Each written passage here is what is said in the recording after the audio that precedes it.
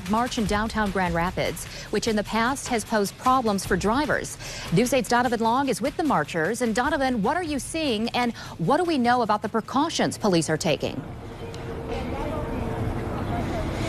Well, Emily, several people are starting to line up here in Lincoln Park to protest what they say are the challenges the immigrant community face. I do want to step out of the way to give you a different perspective, just to kind of show you what we're seeing on the ground here. Many of the demonstrators have just finished decorating their cars with signs that support that particular community. Several protesters here are part of Cosecha, which is a group that draws attention to issues plaguing the immigrant community.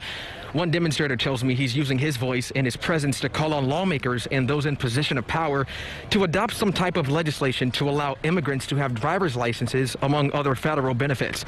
I ask him why he's passionate about this protest, and he tells me this. I wanted to, uh, partly, I wanted to shame other white people into uh, behaving in the moral, upstanding way that a lot of people think that they do.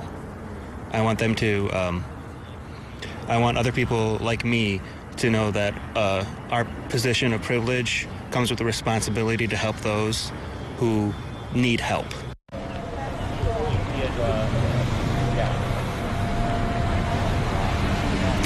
Now, this demonstration is slated to get started here in just a few seconds. It was supposed to start at noon. I know we are about two minutes into uh, the 12 o'clock hour, but we are getting ready to uh, start the protest here in a little bit. There is a police presence here on site to ensure the safety of everybody involved.